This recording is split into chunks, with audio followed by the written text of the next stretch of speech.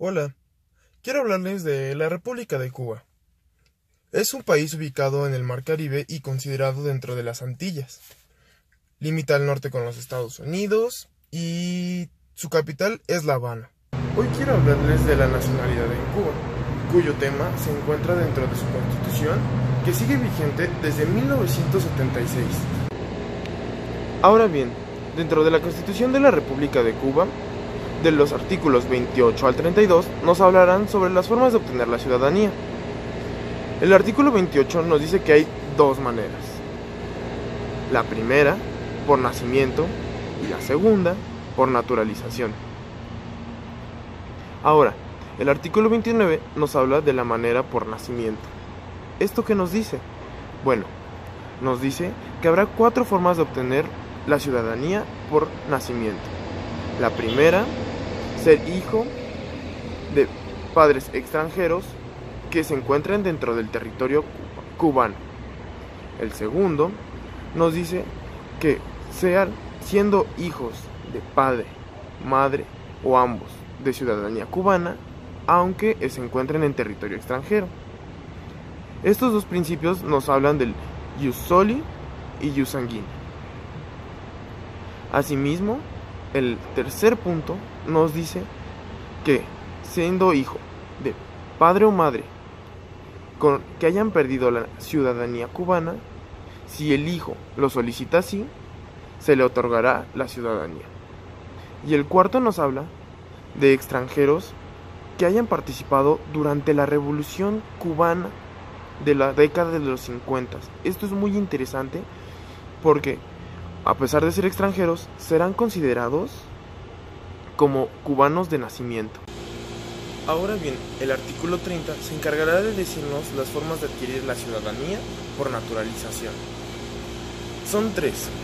La primera es para aquellos extranjeros que sigan todo el proceso que se establece por la Corte.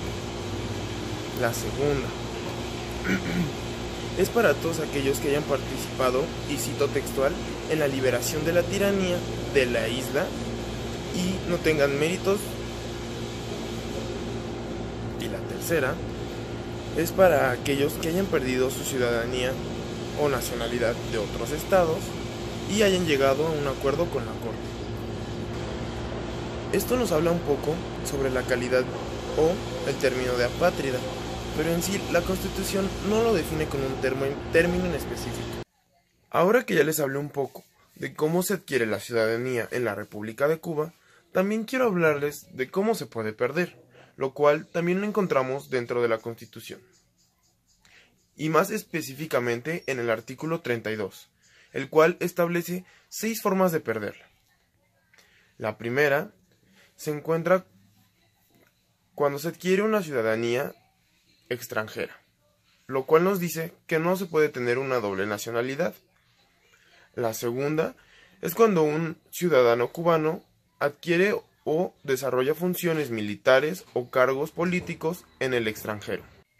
La tercera forma que establece la Constitución es para todos aquellos cubanos por nacimiento o naturalizados que conspiren en contra del pueblo cubano, de las instituciones socialistas o en todo caso del gobierno en general. La cuarta forma establece que todos aquellos naturalizados cubanos que se encuentren fuera del territorio cubano y que no expresen cada tres años sus intenciones de permanecer con la ciudadanía. La quinta también nos establece sobre los naturalizados que acepten una doble ciudadanía, lo cual nos regresa al concepto de doble ciudadanía, lo cual para Cuba no está permitido. Con esto terminamos el tema de la nacionalidad en Cuba. Quiero darles las gracias y desearles mucha suerte.